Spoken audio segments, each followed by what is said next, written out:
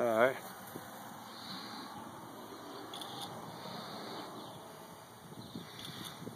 That's a good many of them there, though. I mean, that's Yeah. quite a few. All right.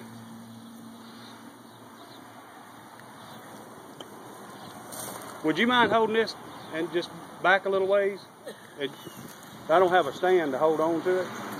What you gonna do? If you would, just just set it there and let it just watch what we're doing. Oh, you gonna film it? Yeah, just for the heck of it, might as well. I'm doing the same thing. All right, let me get over here so I can see in front of y'all. So what do you do, wet them? This is uh, that's uh, sugar water. Oh, In addition to sugar water, it's uh, got some Honey-B-Healthy and some enzymes and different things like that right there. oh, okay. Good for the bees. Mm. Calms them down. Yeah.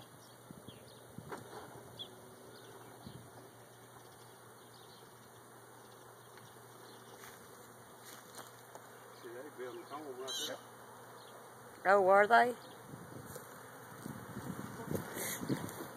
Ooh, they're going crazy.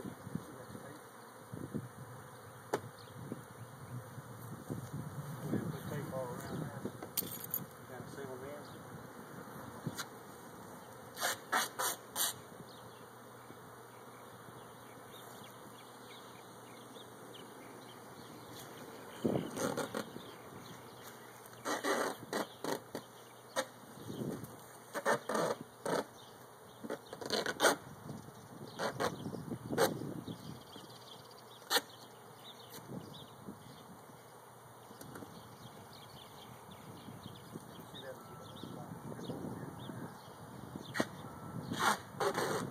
Now, will they gather back up there? Hopefully we got the queen in the box. Now he'll probably cut a little hole in them in the box, and all the rest of them go to that queen. Just Really? a little while. You can see very few of them flying around. They'll all be in the box. And y'all didn't get stung. I had one buzz my ear. Not yet. We have actually piled up there, grab a handful of them, looking for the queen, see if you can find her. If you don't crush one or injure one, nine times out of ten, something like this right here, they won't you. Well, what's the marks? Is that honey that come out of them, or what is Well, that? that's where I sprayed the uh, sugar water. Oh, but And the what other, sugar water does is it's what they want to eat. So you spray that on them, and they'll go to eating that, and they'll be less worried about what's going on around them. because when they were We gathered, down there, that's what they care about.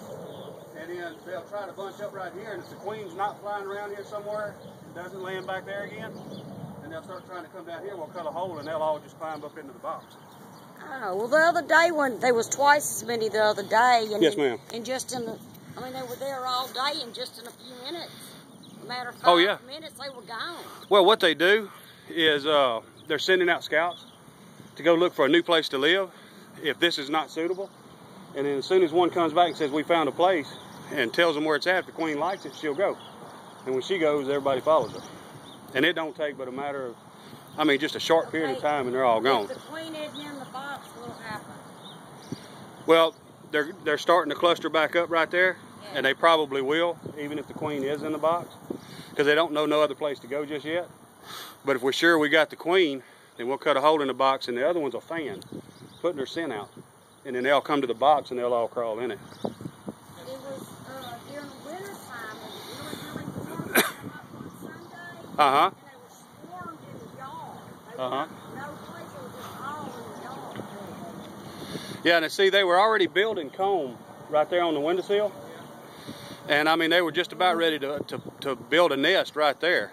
And they can get, they're, they're actually going behind that, that, that uh, siding. And so they may have been able to get in the wall. I'm not sure, but that's a possibility.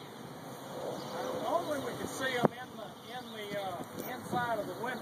Uh huh. I don't see any inside yet. Right. I do too now. Yeah, there's a few inside. But that window is, it, it's, it's at an angle.